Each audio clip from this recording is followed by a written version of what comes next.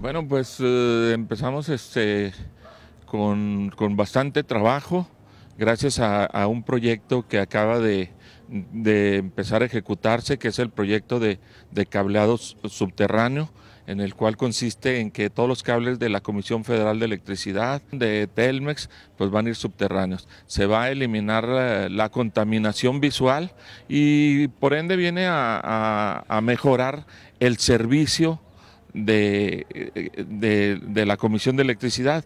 Vamos a tener, yo me imagino que menos apagones, menos este, una calidad en el servicio este, con, ese, con ese cableado. Pero sobre todo, como le decía, es eh, quitar la, contaminación visual de, nuestro pueblo mágico. Sí, este, embellecen aquí toda la región.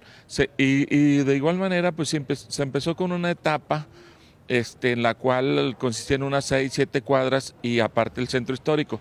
Pero no, este, ya en una plática con el señor gobernador, este proyecto de cableado subterráneo se amplía también a la entrada a nuestra cabecera eh, aquí a la cabecera municipal, la cual también ahí se está interviniendo alrededor de, no sé, cinco o seis cuadras con 14 millones de pesos y también en esas cuadras este, ya se tiene contemplado también este, meter cableado subterráneo. Sí, se continúa, este, eh, de hecho van quedando, van quedando muy bien las fachadas de, del pueblo mágico en nombre de Dios y bueno, aquí hay que agradecer también al, señor gobernador el apoyo que, nos ha seguido dando.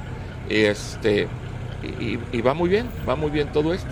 Bueno, este, también eh, precisamente este año este, iniciamos con más pavimentación hidráulica eh, que viene a complementar eh, la obra que ya se había iniciado. De, igual el templo, yo calculo que ya va en un 90-95%.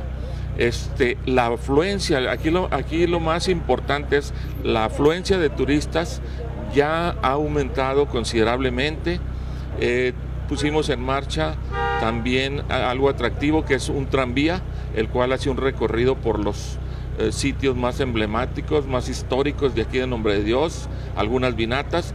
Y bueno, esto creemos que va para adelante y esto viene a beneficiar bastante a Nombre de Dios, muchísimo. Sí, mire, viene gente de, de Puanas, del mismo Sombrerete, de Vicente Guerrero, de Durango, muchísimo. Este, aquí también hay que mm, agradecer a la Secretaría de Turismo todo el apoyo que nos ha dado en la promoción de, del pueblo mágico en nombre de Dios. Y claro, pues son muchísimas las ventajas que tenemos porque estamos a solo 30, 35 minutos de la ciudad de Durango por una carretera en muy buenas condiciones. Yo creo que sí hay una muy buena comunicación con el señor gobernador, el cual al inicio de este proyecto él se comprometió a, seguir impulsando a nombre de Dios este, durante su mandato. Pero también, claro, no nos vamos a quedar con los brazos cruzados.